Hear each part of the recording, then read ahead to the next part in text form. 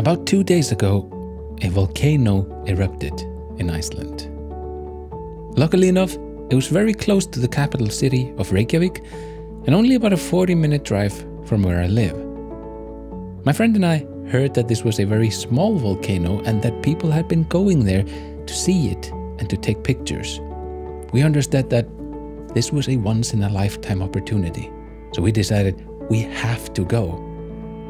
Once we arrived, we had a quite treacherous trek on foot to get to the volcano, and this is when we realized that we were not alone. People had flocked from all over Iceland to come witness this historic event, and I felt blessed to be one of them.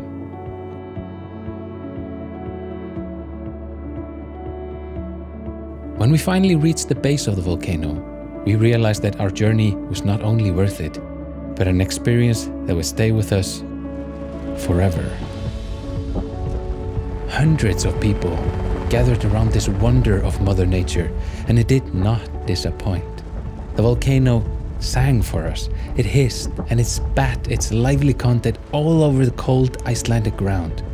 Molten rock streamed from its peak, and the lava, which didn't flow over the brim, danced and shot into the air. The contrast between the brisk Icelandic day, the rich grey of the smoldering volcanic rock, and the bright oranges and the yellows that the volcano ejected were breathtaking and something I will not soon forget. I decided to make a brush pack inspired by the incredible textures and the colors of the volcano that day and offer it to everyone for free in honor of this momentous occasion. You can find it and many other stunning packs by following the links in the description. I really hope you enjoy this brush pack. And now I want to touch upon briefly what I think makes these brushes so interesting. It's not just that they're inspired by the volcano, they're actually made from the volcano.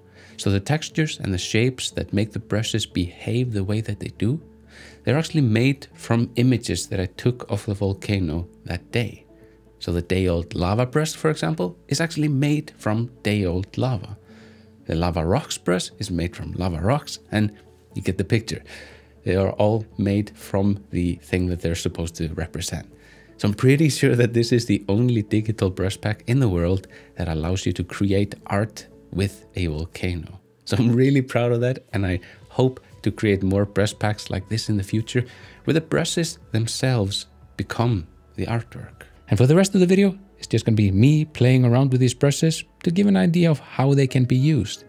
If you want to follow me on Instagram, I would really appreciate that. Also, if you want to see more videos like this in the future, please let me know by commenting on this video and subscribing to the channel. Without further ado, let's draw something.